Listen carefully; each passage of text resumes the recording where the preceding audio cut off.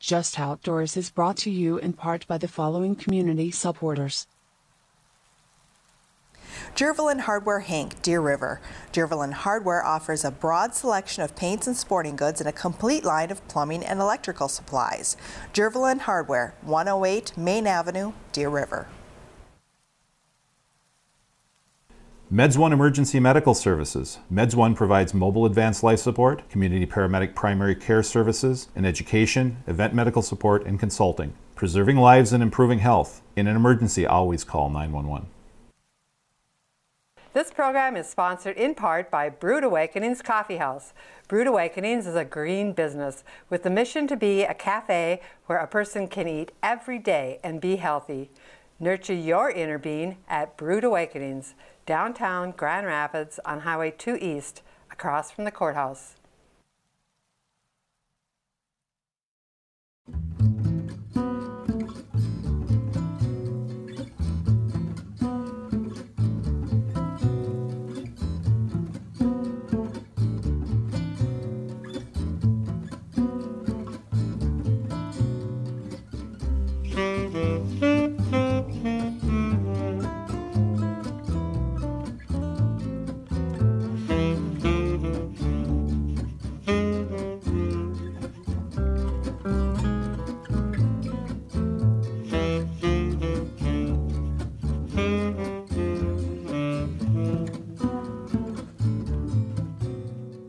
My name is Tom Chapin and welcome to Just Outdoors. This is a program to bring you the bare facts about the woods, the waters, and the wildlife of Itasca County. Today we have a special program and we're actually on location at a public access in Itasca County. And this program is for all your boaters and fishermen because uh, this is what's coming up, this is what's here.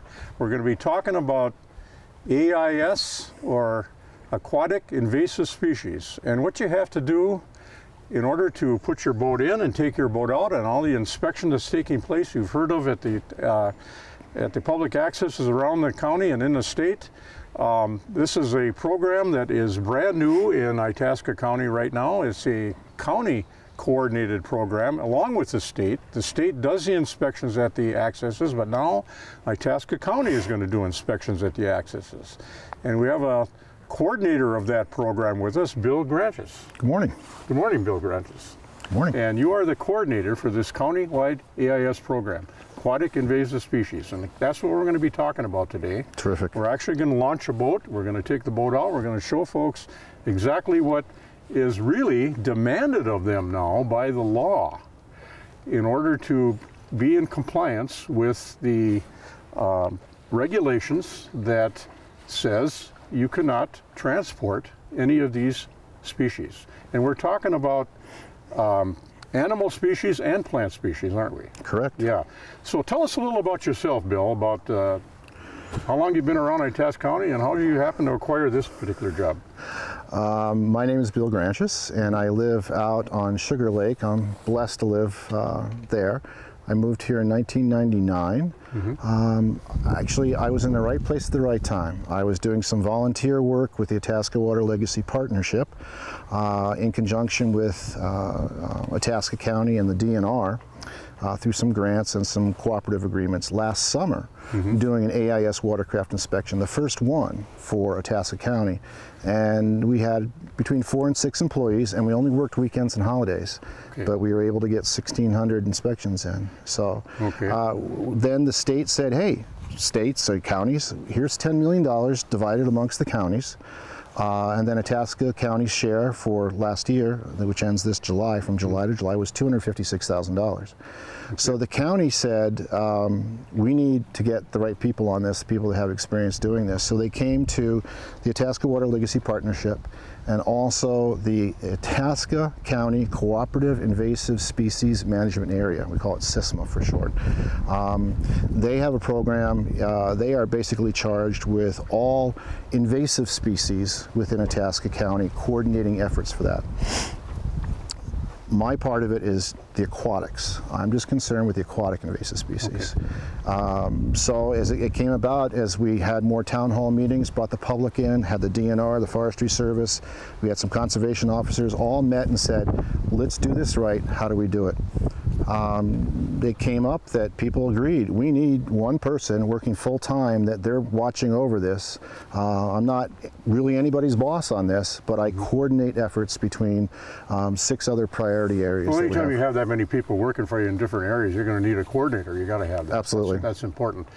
Okay, this program is going to be for everybody that owns a boat. It, this should be, Right. most people are already doing this. Yes, I'd be are. willing to bet. I'd be willing to bet. There's a lot of misconceptions about this, Right. and we'll clear that up today. And this is what we're going to try to do. Is uh, there's there's a lot of people out there I think that own a boat. They're a little skeptical on the program. They don't know exactly what to do, especially if they only use a boat two or three times a year. This is for them particularly, and so this is what we're going to show. Just exactly what's uh, required of a person, with- and it's not a big deal. It's not.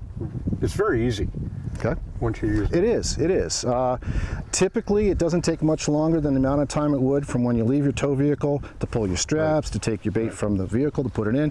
The inspection's done probably by the time you're done doing that. Okay, let's let's talk a little bit about how important this is. What are we looking at here? Why, what are we trying to protect? Really, what this boils down to is that we're trying to preserve our outdoor traditions for future generations. Aquatic invasive species, once they get into the water, they fundamentally change the makeup of a lake. If we want our grandchildren to be able to fish for the same fish we do in the same lakes in the same way, if I want to be able to have my granddaughter walk on my beach on Sugar Lake without having to wear shoes because of zebra mussels, we all have to take personal responsibility and, and get uh, form some very good habits. And it's simple: clean, drain, dry. Clean, drain, dry, and that's that's the big thing. That's what you see on signs all over. Yep. And this is this is a very simple thing to do. Uh, when you think about it, clean, drain, dry, that may only take five minutes. It's it's not a big deal, uh, and you're going to explain all those particular parts of that. Um, the thing is, we're talking about uh, invasive species in Itasca County. There are lakes in Itasca County that already have some invasive species, aren't there? Yes, we have lakes that have both uh, plants uh, in them, and then we have some that have uh, invertebrates, such as uh, zebra mussels in them. Um, those are the Sand Lake area, the Winnie area. We actually have Eurasian water milfoil here in Grand Rapids. Right. There's um, curly leaf, or curly leaf pondweed is here in in uh, uh. Uh, most aquatic invasive species plants are controllable. It's extremely expensive to control them, though. It's always, always, always more effective and more cost efficient to keep something out than it is to try and take it out instead. Now the zebra mussel is one you're targeting pretty heavy. Oh yes. We have examples in the state where they have pretty much destroyed the lakes to to a certain degree, haven't they? What what does the zebra mussel do? The, the zebra mussel we don't want in lakes around Itasca County. no, we do not. Tell us why. Well, there are no natural predators to them, so basically they eat and reproduce. Uh, an adult zebra mussel can lay a million eggs in one year. Uh, a zebra mussel sits on the bottom of the lake or the boat or the, the, the, the pipe where it's attached itself.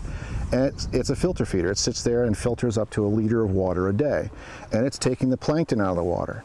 The good news is you get a little lake that's cleaner, um, the bad news is you have light that's going further down, so you have weed growth that's growing where it's not usually supposed to be.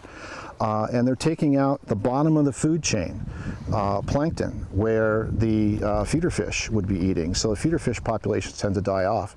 Mille Lacs, uh, DNR study last year was released.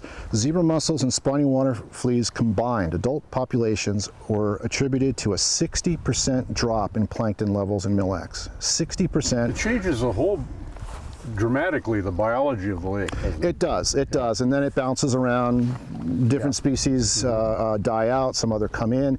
It changes the natural makeup of what we have now. Okay, so that's what we're after. That's that's the main one. But there's a lot of other types of uh, invasive species that uh, can be hauled along besides that, uh, particularly the plants. right? Yes, well, well, the the, the the the zebra mussels and spiny water fleas are particularly nasty because in their infant forms you cannot see them with the naked eye. They're that small. That's why it's so important to drain all the water off your boat. The plants, it's so simple. All you need, pardon my gloves, all you need is a piece about that long of uh, Eurasian water milfoil, um, um, flowering rush, curly leaf pondweed. That's all it takes for it to go from one lake to another. So that's why, that's where the, the, the clean comes in, in removing all plants, uh, all mud, you have nothing. And you really have to pay attention to your trailers. Uh, most people see it on their, on their, their prop and they'll take it off, but you gotta look underneath that trailer too. Just because we're in northern Minnesota doesn't mean we're immune from any of this, does it? No, A lot of these things that are in southern Minnesota, Twin Cities area, can certainly live up in this area also. population centers. Um, Okay. Aquatic invasive species always follow where man goes, where people go. It's not spread by birds. It's not spread by Right. turtles or frogs. Uh, it's it's spread. Well, yeah, it's spread Yeah. by man because if you look at the spread, it follows transportation corridors. Okay, so we got a situation here where we're trying to stop this growth into this area. We know We're trying to slow it down, Slow it down a little bit. Yeah. Um, some people say they have an excuse, you know, oh, I'm not too into this because we're going to get it anyway. Not necessarily true, is it? I don't believe so, and you are correct. That is that is a common feeling among some people. Uh, what we're trying to do is we're trying to slow down the spread, Tom, so that scientists can find a genetic or biological cure for it. Um, Case in point, zebra mussels. They're saying that we may have a genetic uh, cure based on DNA that targets just zebra mussels, Right. eight to ten years. So if we can if we can hold off, there might be a scientific cure for some of these things. Tom, it's it's see what we have now that is on our radar. We have in the county and in surrounding counties is scary. Mm-hmm. Yeah, What's even worse are those invasive species that we don't know about yet, that we haven't developed ways and methods of dealing with them at all.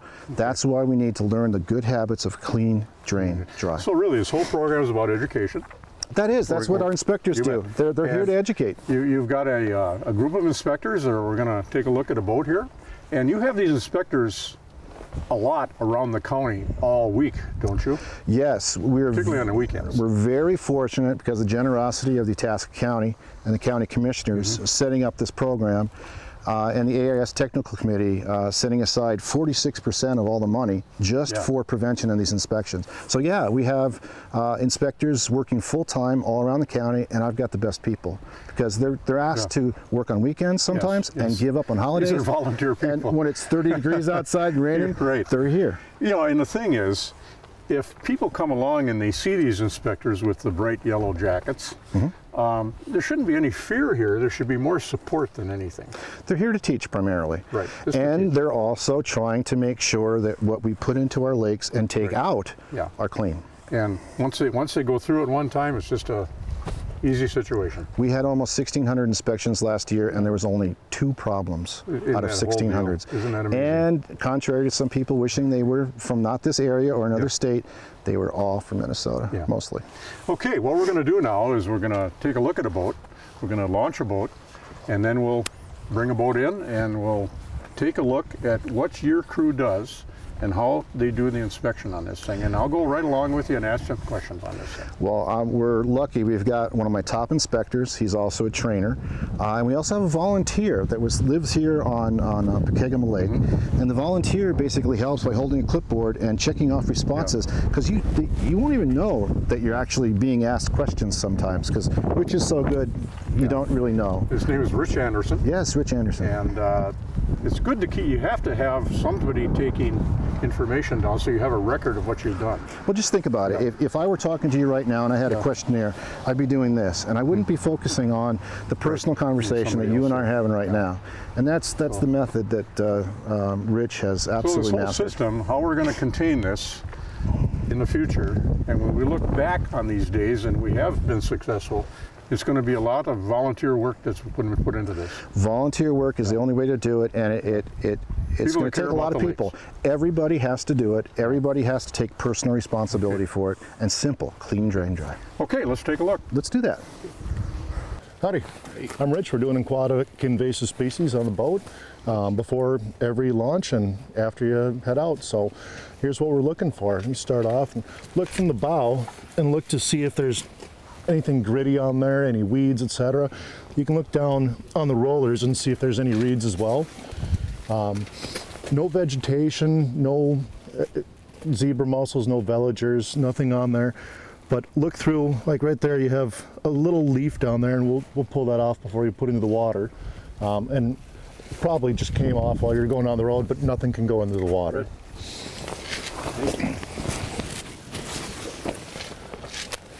And then you just move on down. Now, have you been on any other water recently? Nope, first time out this year.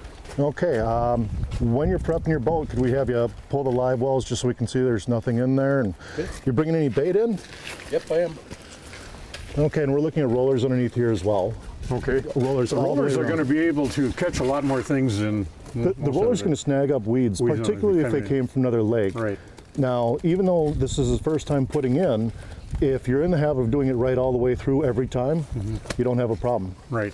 But you're particularly interested in people coming from another lake, aren't you? Um, uh, especially from the Twin Cities, maybe in that area. Well, actually, anywhere, because Anywhere. if you teach them the right habit, even if they're coming in and out of their own lake only, if you teach them the right habits, the one time they go to another lake, they'll have it built in. okay. Now, he's got a plug.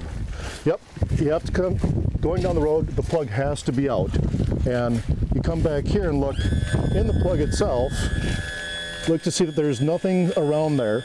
Now, Veligers, zebra mussels, they're a filter feeder, so they like to sit right around the plug, all access points, all ports, so you really look at that carefully. Okay.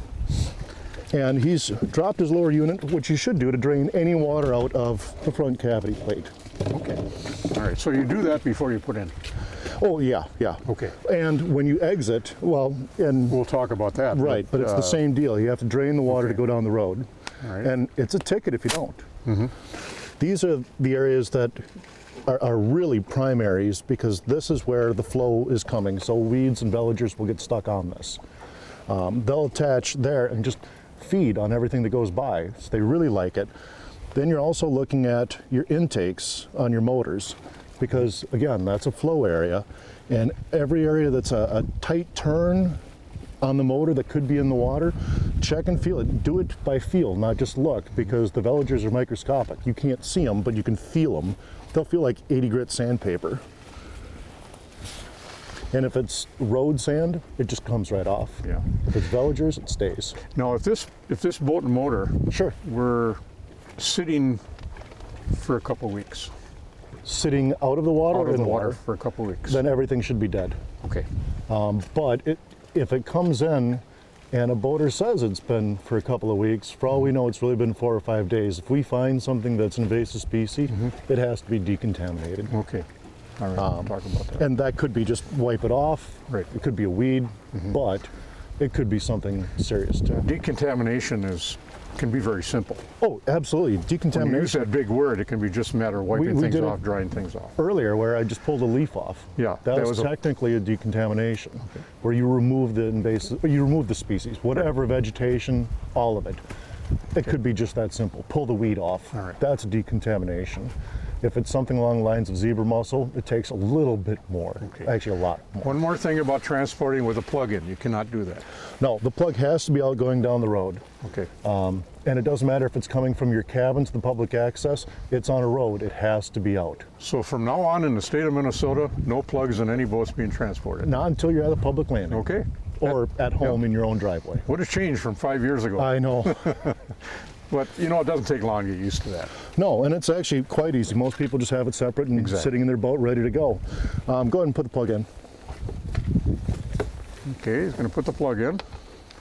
And everything's pretty much been inspected outside the boat here. Right, as I inspected from the bow to the stern, um, I had another inspector going from the bow to the stern on the other side. Okay. Now, realistically, uh, any boater should do that inspection, not us. Okay. Because you should do it at every landing anyway, so you're not bringing anything in, whether there's an inspector there or not. Okay. Now, when she's recording, is she recording the person's name?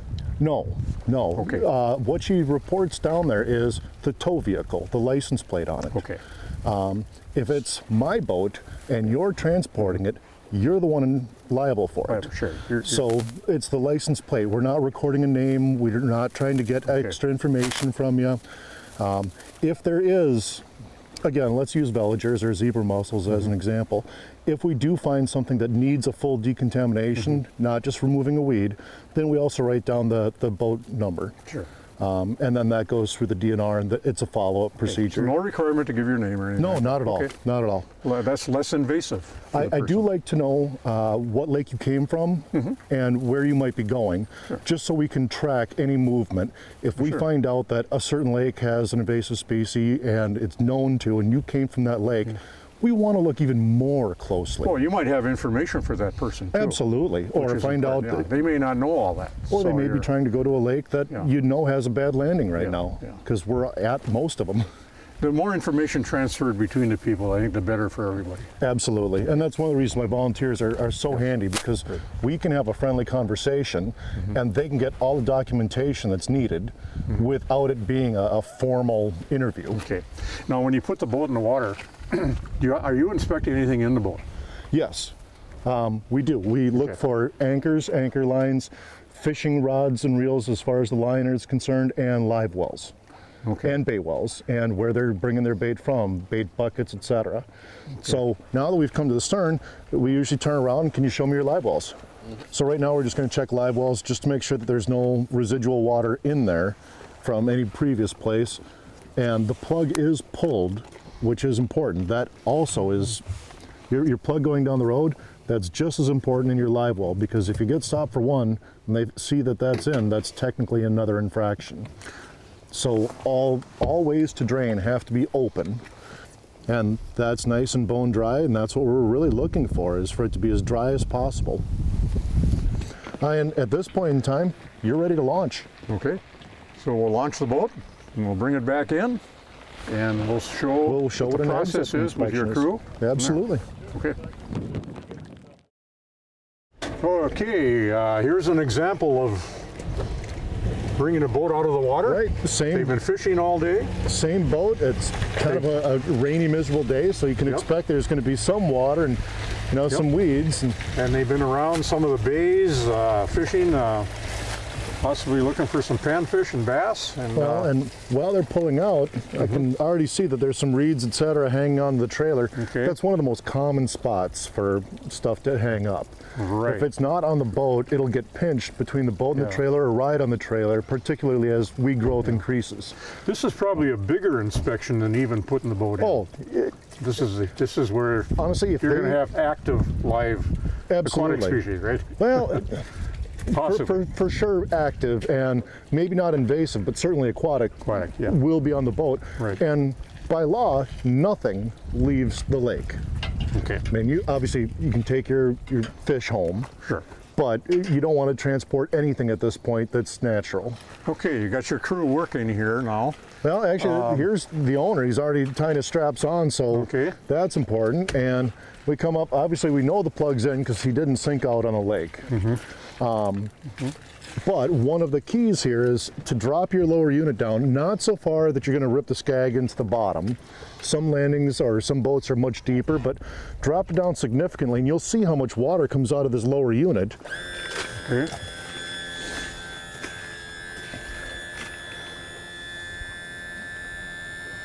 There you go. And if people just pulled up and set up for going down the road, that's transporting water. Now, if, if you're in a contaminated lake, let's say like Mille Lacs or Sure. some of those, that's very important there, isn't it? That's very important Isn't on that every lake. On That's what's going to be lake. transporting. That that's one that's almost hidden that people always forget about. All right. Um, so if you drop it down, and now the owner's removing the the drain plug, so if there's any water, it should be coming out. Yeah. Um, for boats that have bilge pumps, etc., you ask them to engage their bilge pumps, so make sure, all water comes out. Your ballast, your wakeboard mm-hmm. boats, etc., mm-hmm. have them engage it. Those ballasts also have to be completely empty. Mm-hmm. I um, think this is an area where a lot of people might not think about it. Well, a lot of people at this point in time, they, they Yeah. throw the straps on and they think they're ready to go down the road, and you're not. You're not. Okay. Well, let's continue here then. So, again, looking right here, we've got reeds hanging. And this is the kind of thing that will absolutely get taken to the next lake. If mm-hmm. you were lake hopping, now if he pulls out and he's going to be up dry for 10, 20 days, that may be your plan, but you may go fishing that afternoon. Mm-hmm. Everything goes through. If you do this part right here, your inspection coming in takes no time because it's already perfectly Already clean. done. You bet. Okay. So there's some weeds and And there's there's some a more few back things in hanging here. under there. Okay. And again, it only takes an extra minute or 2 Mm-hmm. Now, for our demonstration, we're going through and doing things slow and methodically. But truthfully, while you're walking boat around your boat, getting it ready to go, it's an adds a minute. Most of the places you're going to be there won't be inspectors. No, no. So what, what- what the show is doing is educating you on how to do it yourself. right. You folks aren't going to be do, doing it for them. Well, truthfully, at, at a landing, if we're there, we should not be the ones going through your entire boat. You should be at every landing, whether we're there or not. Okay. In an ideal situation, in four or five years, I expect I'll just watch people do their own inspection and we're in good shape. Yeah. So right now you're kind of in the phase where you're showing them what to do. Oh, absolutely. On the a teaching experience. Yeah. Okay. Good. You know, we're, right. we're not in a fundraising mode where we're trying to give tickets. Right. There are people that are that infractious that, truthfully, the only way they're going to learn is that. But for the most part, Very it's rare. really teaching. That's going to be very moment. rare. I think uh, the education is the most important thing right now. And again, you double check when they're raising their motor back up, Mm-hmm. double check and make sure your plug is out because you want to get that just like going into the lake where it has to be in, going down the road has to be out. Okay. Now you have uh, one of your inspectors keeping record here also. Absolutely. Okay, This is uh, one of our volunteers, which is wonderful because they help keep all of us safe in the regards of they're looking for traffic, they're making sure that I'm not getting run over, they're not getting run over, the boat owner's in a safe environment, Mm-hmm. and able to record any information, such as when I pulled weeds off, she was writing down that yes, there was removable by hand species. Okay. Um, And that way we're able to document what we run across. Clearly by mid-July, et cetera, when the weeds are picking up and dead and at the landings, there's gonna be much more of that. If the boaters remove that by hand, you know the boat's completely clean for the next place. All right. Now, Now we're going to go inside the boat. well, go inside the boat and talk to the fisherman, because that's the, or the boater, because that's The boater or a fisherman. very, yeah. very Could valuable be a recreational connection. boat. Absolutely. Not just fishing. Actually, one of the big areas that store water is the ballast boats Okay. for jet ski or for uh, wakeboarding. Wakeboarding. Sure. Now, got any bait? I do. Okay, Okay. leeches uh, and minnows. Um, do you know the deal about replacing your water? Yeah. Okay, do you have spare water? Matter of fact, Now, Okay. Uh, the, he said he had some water he that has he carried water. He, he's brought a gallon from home and it remained in the truck, so it did not go on the lake with him, which is important. If it went on the lake with him, nobody has any idea that it's not lake water. It remained in the truck, so it's from home. Now, Mm-hmm. what he's going to do is he's going to drain out all of his water from the bait bucket and from the leech. Uh, Okay. tin. Let's do that. Let's show uh, how pretty simple this is. Yeah, it Isn't a big takes deal. No time, except for the knot that's tied on that, which is Yeah. fun. But almost everybody's fishing from now on will be carrying this, won't they? they should be. Yeah. Um, I- if, if they have bait and they want to save their bait. If they want to save it overnight or go to another lake, you know, it's really simple. It's a, a gallon jug that you just put water in.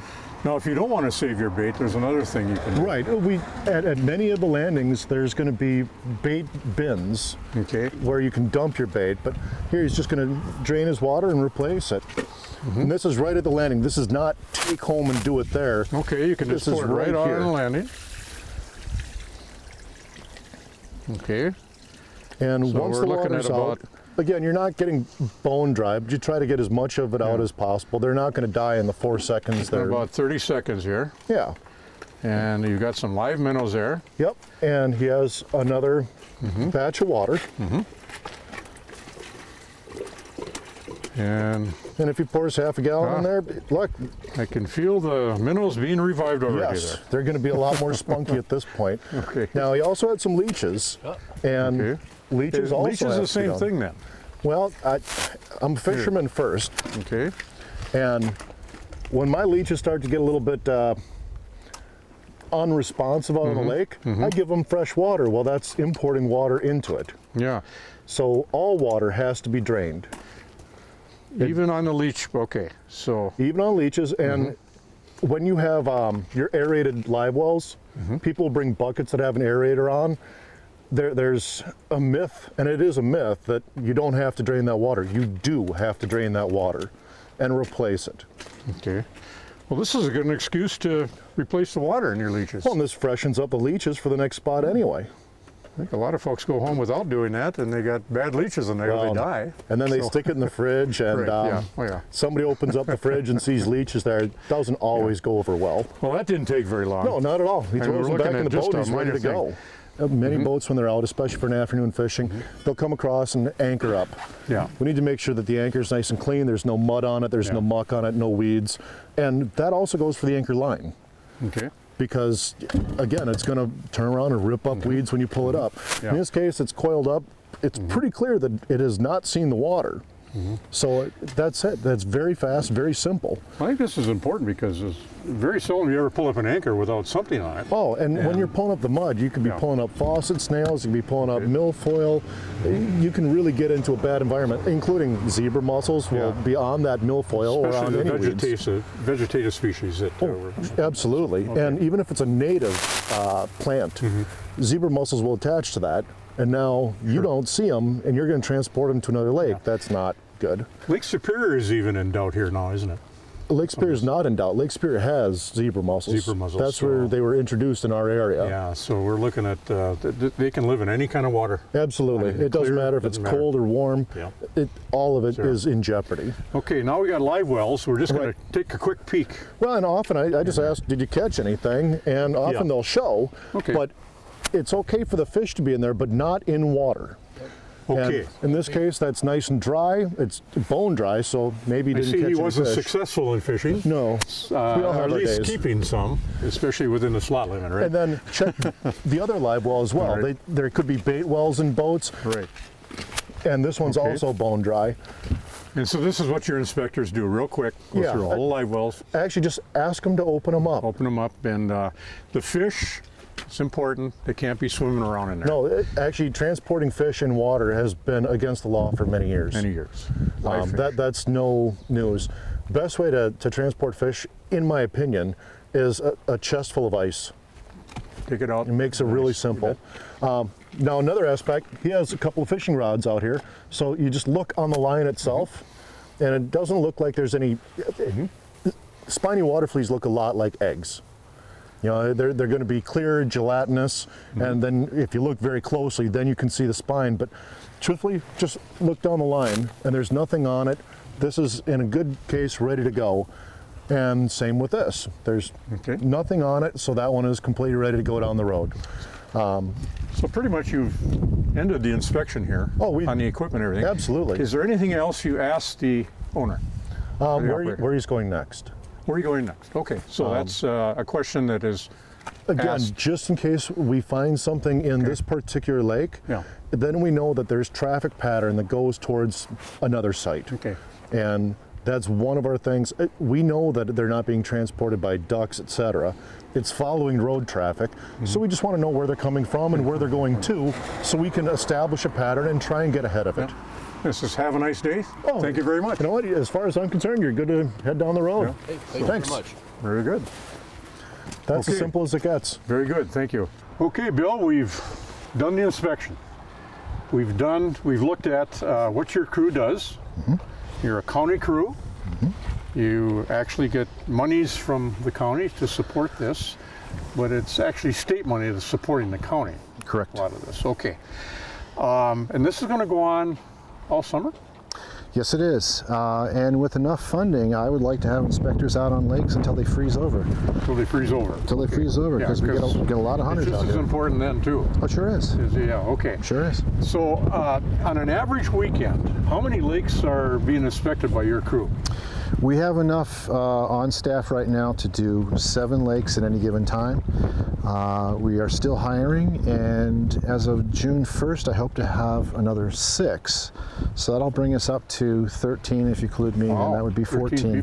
So in theory, we can do 14 lakes at any given time, and that includes uh, the first ever mobile thermal decontamination unit. So as you heard Rich talking about, you can, if you want to do it yourself, uh, you can go to a car wash. We will actually have DNR trained and certified people to use 140 degree, 300, uh, 3,500 psi water to kill uh, all aquatic invasive species. If you'll move that piece of equipment around to different uh, on, in in Yes, County. yes. And uh, when do you expect this? The the thermal decon unit should be here uh, the end of this week, as a matter of Oh, fact. okay, so we're at the end of June May? Mm-hmm. 1st June first, uh, we will be out there. Actually, next week is before Yeah. June first. And there's going to be few boats that you're going to be using this on, I, I, I would imagine. Just the ones that really look like they need some help as far as cleaning up, right? Well, um, the boats that are deemed either that we found AIS that can't be removed manually, Mm-hmm. or that we suspect are high risk based upon the questions that Jim found for the conversation. Um, where, they, where they're coming from and Yeah, what it exactly. If they're they've coming from a lake Yeah. that has zebra mussels in it, then boom, there, there you know. Okay, you should have you should have a decon. Um, also, uh, it's free, and actually anyone uh, can come up to a thermal decontamination unit that's run by the Itasca Mm-hmm. County AIS watercraft inspectors, and for free we can give you a, a, a boat wash. We're not scrubbing your boat down, Right. but we will give you a, a courtesy thermal wash on the outside of your boat. We're also doing fishing tournaments too. We're hoping to be uh, Oh, okay. uh, make our presence known uh, a good five days to a week ahead of Well, that fishing makes tournaments. because they're coming from all over. That's right, pre-fishing, absolutely. This is high pressure system, right? Yeah, but in reality, what we're actually doing is we put a, a, a low flow nozzle on it. So we're basically Oh. just kind of like a waterfall, flowing water over the hull of the boat. Uh, 140 degree water, 10 seconds exposure time. That will kill a zebra mussel. Okay, great. Well, terrific. So you got this crew going out, and you've got a lot of these are volunteer people. Is that right? Um, the inspectors are uh, you have to be employed by the county and you have to be certified for the DNR. So they're not they're not volunteers, but the volunteers um, such as Johnny, who was here actually from the Green Heron on uh, Yes. here on Pokegama, um, Taking the notes down. completely a volunteer, and it is so helpful. This job. Uh, I told everybody this job, you can spend a lot of the time and you think you're the only person on the planet. It, it can be really dull, if you can imagine. Mm-hmm. Not this landing, because this is very, very, very heavy. But there are some landings where you might not see somebody for two hours, and then you see 10 boats all at once. So if you have an inspector there, it, it kind of helps with the, the downtimes, and it also helps when you have that big crush of people coming in. Are you looking for those types of volunteers? Always. Always. Always. Okay. And I can be contacted, um, well, you can look me up on Bill Mm-hmm. Grantges, but also itasca.ais.coordinator at gmail.com. Okay, just call the county, go to courthouse. They'll, You can call the it. county. Yep, they all And know you have an office there, and that's where you're going to be. Well, actually, my office right now, I'm working out of my house to Oh. Okay. save money. I'd, I, I'd rather put that money Yeah. into hiring more inspectors. Okay, but they have uh, they have all the information. Oh, the they sure do. Sure do.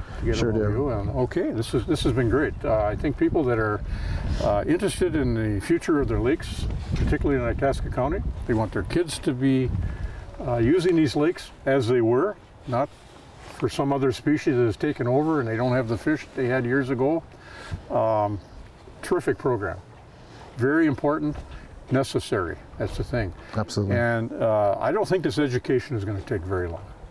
No, no, it's it's, simple. it's it's common sense, and it's just forming a good habit. Yeah. And everybody wants to do the right thing. You know, we, we took almost an hour here to go through it, but sometimes it's a it's a four or five minute situation. Absolutely. not And depending upon the risk level that the, the, the uh, inspector is trained to realize, Yeah. if, if it's a higher risk, it takes longer. Okay. So if your boat's clean when you're coming in, you're a lower risk. So, Yes. Okay. yeah. And we are, our goal is to not delay anyone. As a matter of fact, it's a state law. We're not Pretty supposed to do that. Okay. Thank you, Mr. Tom, thank you. Appreciate you coming in, and we're doing this, and uh, My pleasure. we're going to be uh, promoting this all year, Tremendous. and especially with ICTV. And uh, watch ICTV to get all this information, and there it is. Here we are. Thank you. Thank you. And thank you for watching Just Outdoors. And remember, stay informed.